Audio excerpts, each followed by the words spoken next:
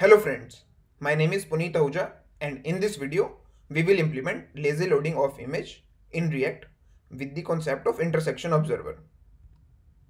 The prerequisite before watching this video is the basic knowledge of React and the theoretical knowledge of intersection observer. Though if you have not worked on intersection observer, I will help you with the implementation. What is lazy loading of an image? As the name says lazy loading, it is the concept in which the image is requested only when it is part of the viewport. I can show you with the help of an example. So here is a dummy web page where you can see a header and there are seven sections. Each section contains an image and some text. If I will reload the page, you can see here in the network tab, all the images are requested on the one go.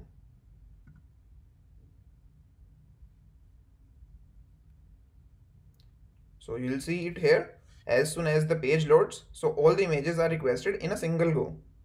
We have to optimize this. I will tell you how to implement this. So this is the web page and I have created a boilerplate for you guys. You can see the source code of the web page. So this is our main component. We have one header and then seven sections. The image is coming from this constant array. So if we look into the section,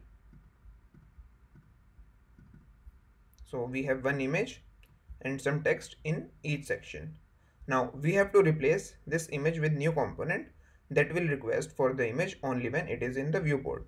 For this i'm going to create a new component here. I'm naming it as lazy image. So i'll be using the same nomenclature.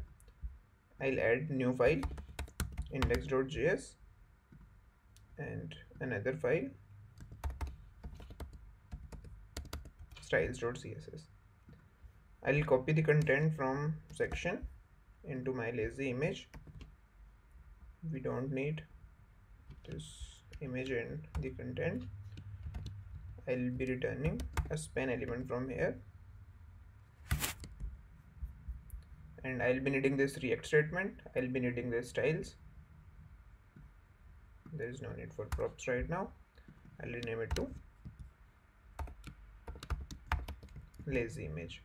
So we also need to show some background for this. So I'll add a class name for image style. I'll add this image style to my CSS file.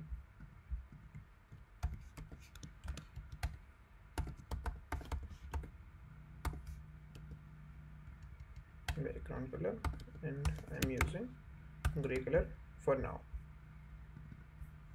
I also need height and width for this image that I'll be receiving from props.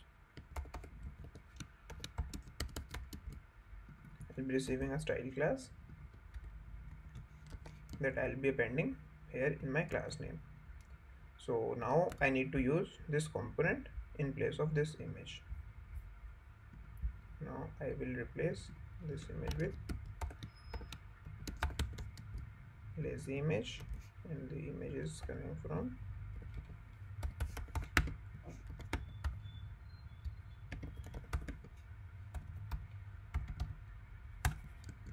This component also I'll be changing class name to style class. So here you can see in place of image I'm showing a span with the background color of gray. Now what I have to do I have to add some functionality to this component so that as soon as this component comes into the view it will request for an image. So I need a condi conditional rendering. I'm using a state for this.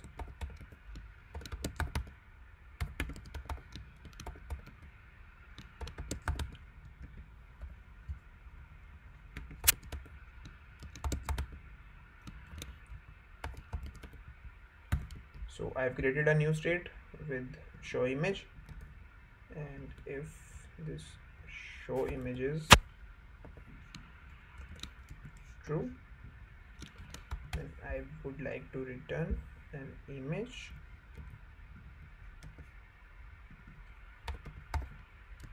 Image and I'm using this state. From where it is coming it is coming from react library also if I have an image tag I should pass some source. Also an alternative text. So this will be coming from props only.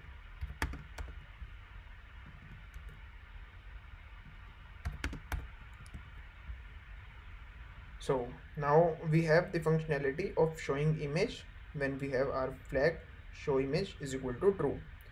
Now we have to add the functionality as soon as this image comes into the viewport it should call this function with a true value. How can I do this? So for this I need reference of this span element to detect that it is part of view. I'll use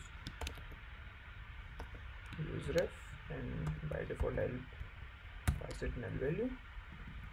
So this value I'll get from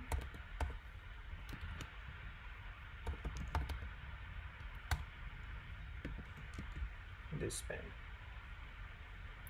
now at the mount of this function. Okay. So we forgot to add useref into our import statement. This is also coming from react library. Now as the component mounts we have to add intersection observer so that it can detect that our element is in view and we have to request for the image. So I'll add that functionality from using use effect. So, use effect takes a function. I'm writing this recommend. And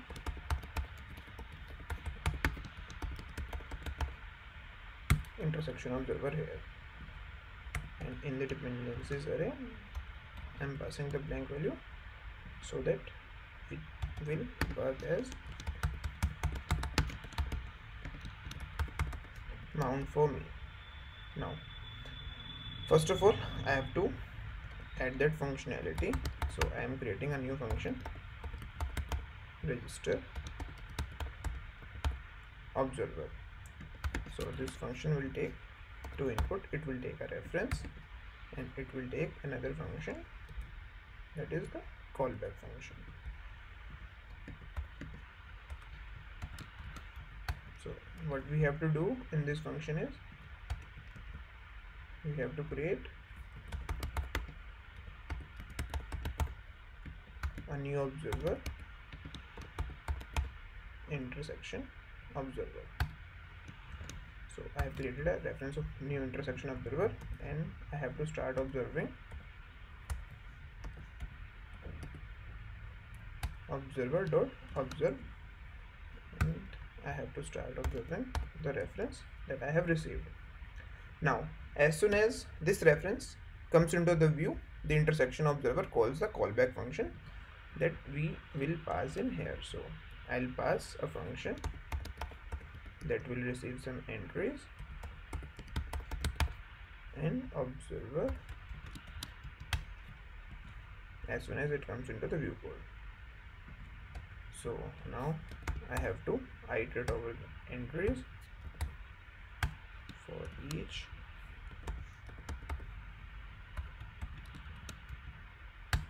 For each entry I'll check if this entry dot is intersecting this means if my entry is not intersecting to the viewport then I have to do nothing. I will just return. And if it is intersecting then I have to do something. So first of all I have to call my callback function with the value. True. Also I have to discontinue my observer. So I will. So this disconnect is the functionality of intersection observer. What this function is doing?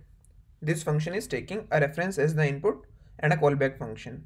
So first of all we are creating an intersection observer and then we are starting observing that ref the reference that we have received as the parameter as soon as this reference is changed like it comes into view or it's out of the view this callback function is called. So it is called with the set of entries and we are iterating over that entries and we'll be verifying that if the entry is intersecting. Is intersecting means that is part of the view. And we have checked if it is not intersecting then we have done nothing. We have just returned from our callback. And if it is intersecting then we have state we have changed the state of image to true and disconnected the observer. Now the only part left is to use this observer.